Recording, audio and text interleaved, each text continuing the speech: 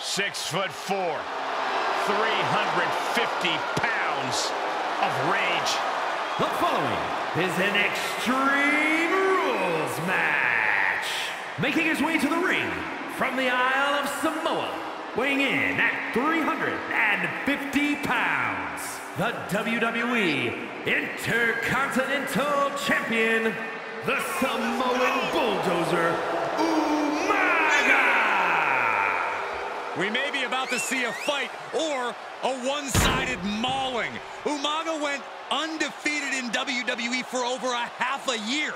Yeah, during that time, Umaga earned victories over the likes of Kane, John Cena, Shawn Michaels, and Triple H. Unmatched savagery inside the ring from bell to bell from Umaga.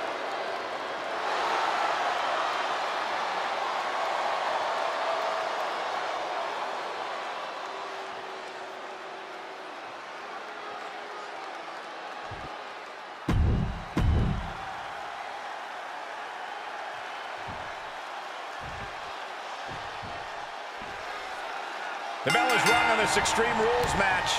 Not the type of match for people with a weak constitution to participate in or to witness. Are you sure you're going to be all right for this one, Saxton? I'm okay for now.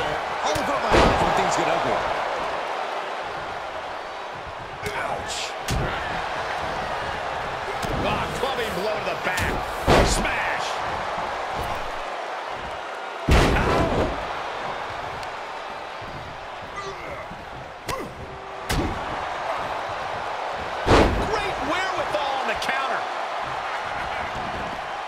He's taking this to the floor now.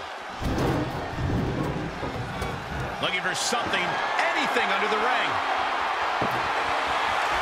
Finds the table, and guys, I do not see the table being long for this world. Corey, what's a sound strategy for going into an Extreme Rules match? That's a tough question, Cole. It's hard to plan for something as chaotic as an Extreme Rules match. But you need to remember that pins and submissions have to happen in the ring. So if you're in trouble, the harsh arena floor could actually be a safe haven. Momentum fully shifted to Umaga. Full focus from Umaga.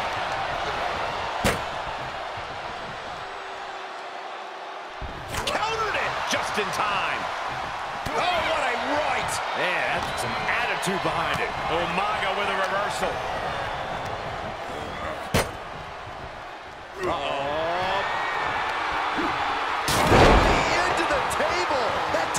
exploded. I don't think we should be worried about the table, Saxton. There's a human being under the wreckage. Good lord. Up Samoan drop. Umaga's lining up to finish this off. Winding up. Samoan spike. We've seen that win matches for Umaga. Oh, kicks out, kicks out. Had to dig deep to break that pin, but can it be done again? How much is left after that? And I think we all know this is only going to make a monster like Umaga even angrier. Mistake by Umaga. If he was looking for an opportunity to pull a 180, that could be it. Into the corner now. He's positioned up on that turnbuckle. Into,